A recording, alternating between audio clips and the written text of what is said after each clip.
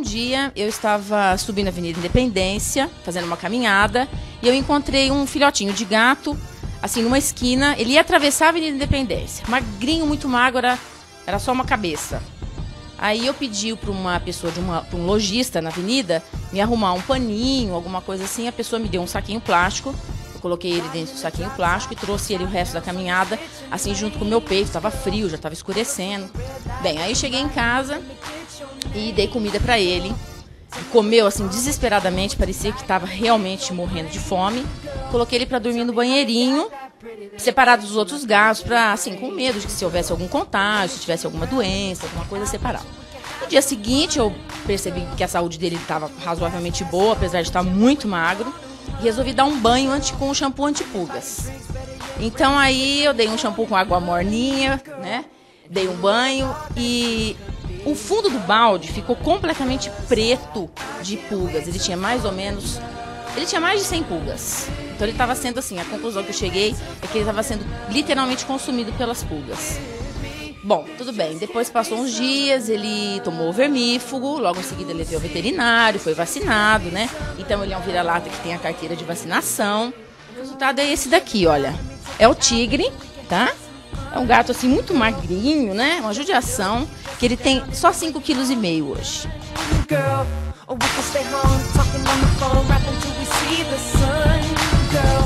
Bom, é, o gato é um animal que está com a comunidade humana, com os humanos, há aproximadamente 4 mil anos. É, existe um trabalho dizendo que ele pode ter sido domesticado há 9 mil anos. É a última publicação. Ou seja, então entre 4 e 9 mil anos é o tempo que o gato convive com a gente, como ser humano. Ele foi domesticado numa espécie de uma situação diferente do cão, do boi, do cavalo e de outros animais domésticos. Ele se aproximou ativamente do, do ser humano em função de, no Egito Antigo, que é onde ele começou a ser domesticado, ele era uma região altamente produtora de grãos. E esse animal, uh, por ter roedores próximos desses cílios, onde se armazenava os grãos, começou a se aproximar do ser humano. A partir daí, algumas pessoas perceberam que esse animal era um animal altamente interessante e uh, iniciaram esse processo de domesticação mais acentuadamente. Existem várias raças de gato. Né? Então tem, por exemplo, o siamês, o persa, o angorá, uh, o russo azul, o pelo culto brasileiro, que é uma raça mais nova. Então são várias raças.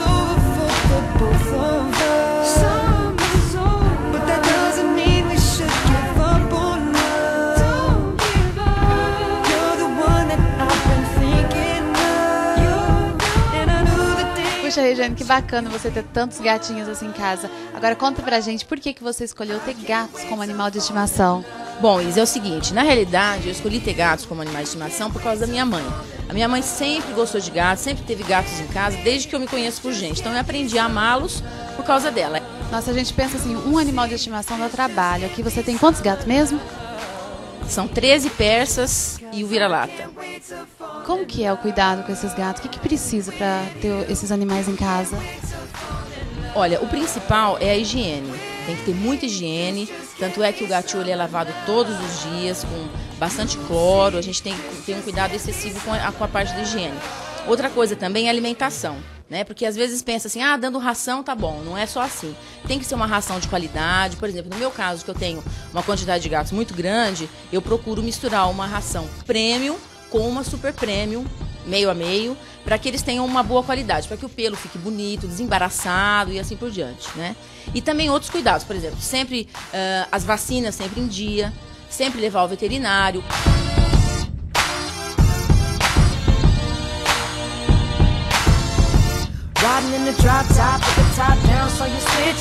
São várias doenças que esses animais têm, né? então é preciso fazer uma vacinação também cuidadosa, além da raiva, evidentemente, né? mas doenças especificamente felinas, então tem que ser é, discutidos com o veterinário também, com o seu criador. A alimentação também, então, por exemplo, hoje nós já temos uma série de opções de rações, por exemplo, para animais obesos, para animais doentes, então fazer uso de uma, uma um alimento mais adequado também. Tá? Well, let me buy you drinks, better yet rings, do it how you want it done, girl. And who would have thought that you could be the one. Regiane, outra coisa muito importante que nós viemos aqui para falar de gatos. Eu não sabia que você tinha cães. Como que é o convívio deles? convívio deles é excelente. Tanto é que eles, eu nunca vi, por exemplo, os meus cães ficarem bravos com os gatos. Eu tenho uma cachorrinha pincher, ela pensa que ela é gato. Porque ela sempre conviveu e nasceu no meio dos gatos. Então acho que ela não tem noção se ela é um cão, se ela é um gato. Ela convive super bem. E tenho dois vira-latas que ficam na, na garagem, que eles entram dentro de casa, eles nem percebem os gatos, eles nem, nem notam que os gatos estão ali. E eu peguei eles da rua já grandes. E eles não têm problemas com os gatos. Então, esse é, uma, é um mito que as pessoas têm, né? De que o, o cão e o gato nunca vão se dar bem. Isso não é verdade. Cause I can make it hot, make it stop, make you wanna say my name, girl. Come on, baby, please, cause I'm on my knees, can't get you off my brain.